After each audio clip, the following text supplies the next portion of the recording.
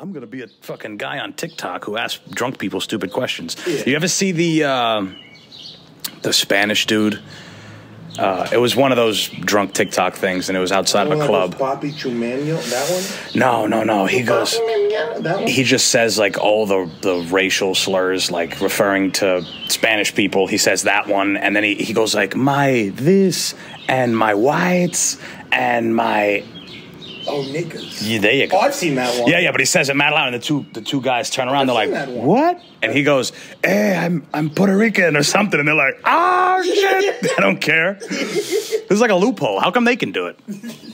Like realistically, right? Isn't They- they should. some some Puerto Rican probably didn't care. some Puerto Rican? I know some Dominicans are black, but are there Puerto Ricans All that Dominicans are? are mostly black. Right. They say they're not black. yeah, like Josh. Remember Josh? I remember Josh. He Mm-hmm. was black. Uh, Josh was a different kind of creature. What is he doing now? I he's always doing some like design shit in New York City or something, right?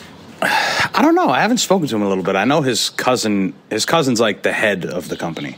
His cousin Nelson. All right. Um, but they do work with like legit, like famous people. Takeoff had uh, he did a a Reebok commercial with his with a pair of pants that they designed. Yeah, pretty cool. But I don't think they ever like shouted him out. I don't think they were ever like, uh, yeah, unknown studios made these pants. Like nobody knows. That's why they're unknown, I guess. yeah. You're doing introduction.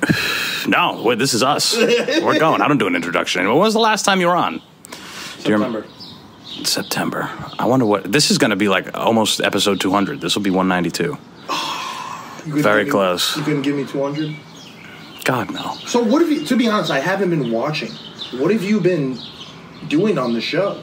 Eh, So I've been listening. I- right. Uh, since I moved, And you've made how much money from it? fucking, I am retired because of it. That's how much money I've made. I don't even work anymore. Um, no, So zero money. zero dollars and cents. Um, wow, those are like not good. Why do we get those? We're drinking Pacificos. Uh, this is. uh, when he said Pacificos, you were like, "Those are good." Yeah, I don't know. I must have been drunk when I had it the first time. But since I moved to Connecticut, uh, and I don't know as many people, I've been doing. Um, so you might recall on Mondays I would do like a half hour just me, Yeah. and then Thursdays with the guest episodes. And I still do guest episodes, but I, I'm not super pressed for them anymore. Instead, I'll do an hour on Mondays and an hour on Thursdays. But you made me drive. Yes. Yeah, yeah, yeah. Right. Because when I can get a guest, I will try. Especially in person, because it's like, who am I? Even if I meet people out there, it's like, am I going to convince them, hey, come to my house, come to my one room where fucking you, I'll, I'll be sitting on a couch, but you get to sit on a fucking plastic fold out chair across from me. and we can talk. God, no. That's where I sit. There'll be a futon in there soon. But, um, You sleep on the couch? yeah, hell yeah. I'm an animal. I don't care.